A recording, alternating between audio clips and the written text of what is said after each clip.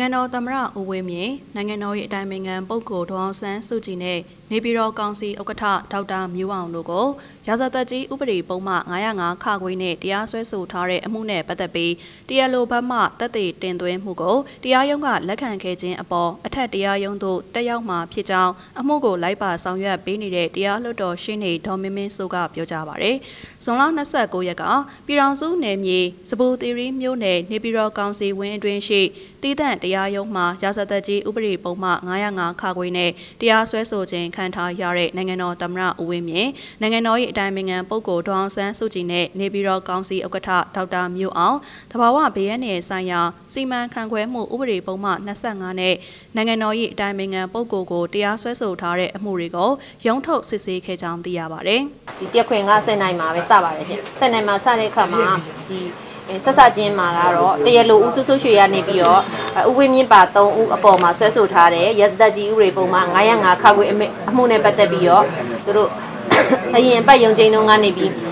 ဒီဒီကျမတို့ကတက်တိခံတင်သွင်းတာကိုတရလိုဘက်ကတက်တိခံတင်သွင်းတာကိုဟိုကန့်ကွက်တယ်ဆိုတဲ့ရှောက်လက်ချက်တွေပေးရတယ်နှစ်ဖက်လျှောက်လက်ချက်ပေါ့နော်တရားလိုဘက်ကလည်းလျှောက်လက်ချက်ပေးတယ်ကျမတို့ဘက်ကလည်းလျှောက်လက်ချက်ပေးတယ်အဲ့ဒီပေးတဲ့အပေါ်မှာ तू ကဘာဟာကိုကျမတို့ကကန့်ကွက်တာလဲဆိုတော့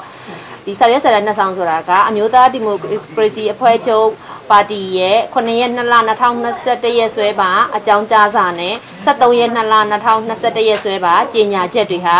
သူကအဲ့လူမှုကွန်ရက်ပေါ်မှာတင်ထားတဲ့ကြေညာချက်တွေကိုသူတို့ကဟို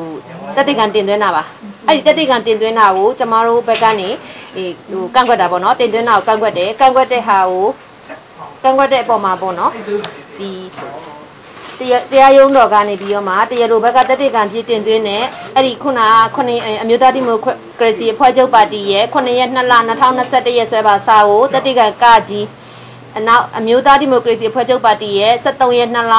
2021ရက်စွဲပါကြေညာချက်အမှတ်6မြင်းဆောင်3ညနှစ်မြင်းဆောင်2021ကိုကြတော့တက်တဲ့ကံခါခွေအဖြစ်ဆိုပြီးတော့မှ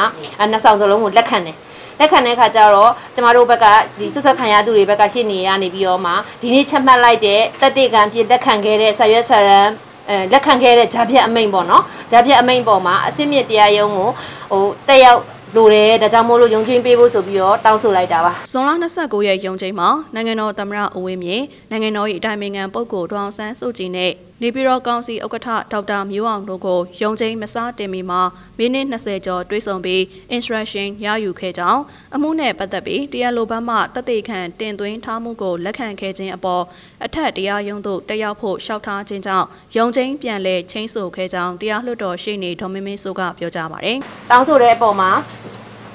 ဥပဒေရရှိကတော့ အဲတရားရုံးရဲ့လှုပ်ထုံလုံနီးတွေနဲ့အညီတင့်လျော်သလိုတရားရုံးကအဲ့ဒီကျမတို့ဟိုရုံချင်းတောင်းတဲ့အပေါ်ပေါ့နော်အဲတရားရုံးရဲ့လှုပ်ထုံလုံနီးနဲ့အညီတင့်လျော်သလိုဆုံးဖြတ်တင်တယ်ဆိုပြီးတော့တင်ပြပါတယ်ဥပဒေဘက်ကနေအဲ့တော့ကျမတို့ရဲ့ဘက်ကတော့လျှောက်ထားတာကတော့အဲဘာကြောင့်မို့လို့ဒီဆွဆွခံရသူကျမတို့ရှင်းနေဘက်ကကျမတို့ဘက်ကနေလျှောက်ထားတာကယုံတော့ကနေတက်တိကံဖြစ်လက်ခံတဲ့ဆာရွက်နှစ်ရက်ဟာဒီဒီအမှုရဲ့အဓိကကြတဲ့ဆာရွက်ဆာရန်နေဖြစ်တဲ့အတွက်ကြောင့်အဲ တရားရုံးကနေအခုချက်မှတ်တဲ့အမိန့်ကိုအမိန့်ကိုဒီဆွဆွဲခံရသူတွေရဲ့အခွင့်အရေးအရာအထက်တရားရုံးကိုပြင်တက်ရောက်လို့တဲ့အတွက်ကြောင့်မို့လို့တင့်တော်တဲ့အမိန့်ချက်မှတ်ပေးဖို့ဆိုပြီးတော့မှထက်လျှောက်တယ်ထက်လျှောက်တဲ့ခါကျတော့တရားရုံးကနေပြီးတော့မှလက်ခံပါတယ်ကျမတို့ရုံချင်းဟိုရုံချင်းထပ်ပေးတတ်တာပေါ့နော်အမှန်တကယ်ကတော့ဒါဒီနေ့မှာတရတရလိုကိုဟိုထပ်စစ်ဖို့ရှိရလေဆက်လက်ပြီးစစ်ဆေးဖို့ကြံရှိနေသေးရဲ့အဲအဲ့ဒီဆက်လက်စစ်ဆေးဖို့ပြောတဲ့ခါမှာကျမတို့ကနေပြီးတော့ အယုံချင်းထပ်တောင်းတာပါတရားလို့ဆက်စစ်ရင်ကြရလို့ဒီကျမတို့ဘက်ကဆွဆွခံရသူဘက်ကနေအဲအခွင့်အရေးနဲ့နာမှာနင့်နာမှာဖြစ်တယ်ဆိုတဲ့အကြောင်းပြချက်တွေနဲ့ကျမတို့လျှောက်ထားတော့သူကယုံချင်းကိုပေးတယ်ဆက်မစစ်တော့ဘဲနဲ့ယုံချင်းအဲ့အမှုနဲ့ပတ်သက်ပြီးနားလိုက်တယ်ဒါအပြင်ဇွန်လ29ရက်ရုံးချိန်မှာနိုင်ငံတော်၏အတိုင်ပင်ခံပုဂ္ဂိုလ်ကိုတဘာဝဘေးရန်နယ်ဆိုင်ရာစီမံခန့်ခွဲမှုဥပဒေပုံမှ25နဲ့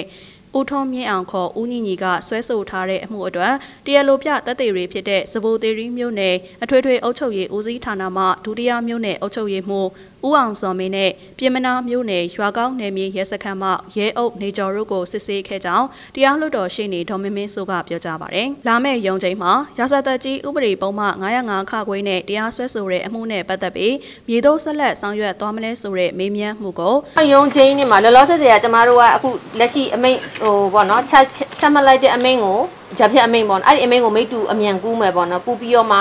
အာဒီဒီအထက်အစဉ်စဉ်တရားရုံးတွေကိုကျမတို့ကဆက်ပြီးတက်တက်သွားဖို့ရှိရတဲ့အတွက်ဆက်လက်ဆောင်ရွက်သွားဖို့ရှိပါတယ်ထပ်ပြီးတက်သွားမှာပါနိုင်ငံတော်သမ္မတဦးဝင်းမြင့်ကိုတဘာဝဘေးရန်နယ်ဆိုင်ရာစီမံခန့်ခွဲမှုဥပဒေပုံမှ25နိုင်ငံတော်၏အတိုင်ပင်ခံပုဂ္ဂိုလ်ဒေါအောင်ဆန်းစုကြည်ကိုတဘာဝဘေးရန်နယ်ဆိုင်ရာစီမံခန့်ခွဲမှုဥပဒေပုံမှ25ပို့ကုန်သွင်းကုန်ဥပဒေပုံမှ8နဲ့ ဆက်သွယ်ရေးဥပဒေပုံမှ68တို့နဲ့တရားစွဲဆိုထားတဲ့အမှုတွေနဲ့ပတ်သက်ပြီးအပတ်စဉ်တနင်္လာနေ့မှာရုံးထုတ်စစ်ဆေးလျက်ရှိကနိုင်ငံတော်သမ္မတနိုင်ငံတော်၏အတိုင်ပင်ခံပုဂ္ဂိုလ်နဲ့ဒေါက်တာမျိုးအောင်တို့ကိုရာဇသက်ကြီးဥပဒေပုံမှ905ခါခွေနဲ့တရားစွဲဆိုထားတဲ့အမှုနဲ့တဘာဝဘေးရနယ်ဆိုင်ရာစီမံခန့်ခွဲမှုဥပဒေပုံမှ25နဲ့နိုင်ငံတော်၏အတိုင်ပင်ခံပုဂ္ဂိုလ်ကိုတရားစွဲဆိုထားတဲ့အမှုတွေနဲ့ပတ်သက်ပြီးအပတ်စဉ်အင်္ဂါနေ့မှာရုံးထုတ်စစ်ဆေးနေတာဖြစ်ပါတယ်။